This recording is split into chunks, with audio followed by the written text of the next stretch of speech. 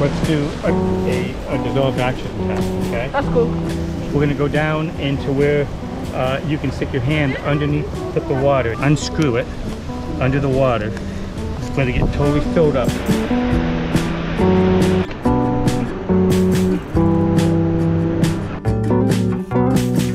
You wanna make sure that you put it in the water.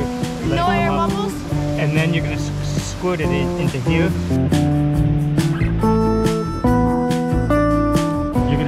Eight drops of manganese sulfate.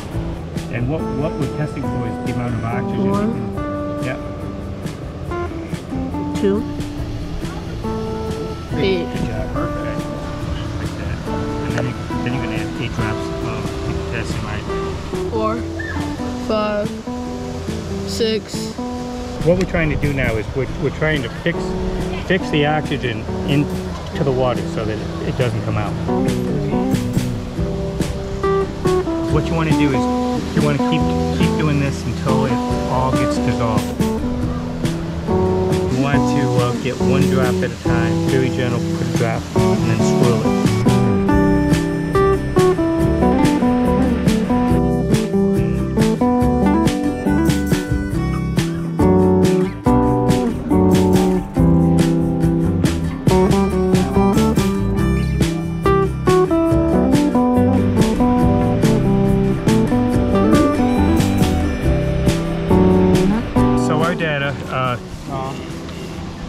at, our site said that the pH was at 8.86. New York State alkalinity pH should be between 6.5 and 8.5. So we're a little bit a little bit more basic than what they recommend. Dissolved oxygen, our numbers were 9.2 milligrams per liter.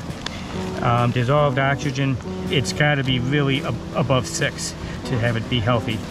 Nitrates was 1.7 milligrams per liter here um, at Cowhorn Creek. Anything that is considered to be less than one milligram per liter might be considered natural. Ours was one 1.7 uh, milligrams per liter, so that's high. Phosphates, the standard is anything that's above 0.05, there's an impact likely, meaning that if you have nitrate and phosphate together, it's, it's going to impact negatively. A- anything above 0.1 milligrams per liter, they say im- impact is certain.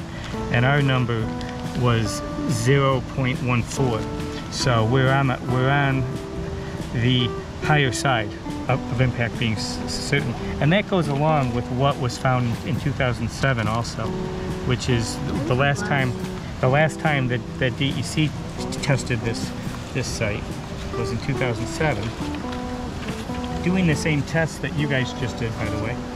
Here's Cowhorn Creek, and this is Vale Park, and that's where they tested. Same same spot that we're in now, and um, what they found there at the same time is that is that the water quality of the Cowhorn Creek was considered to be moderately impacted.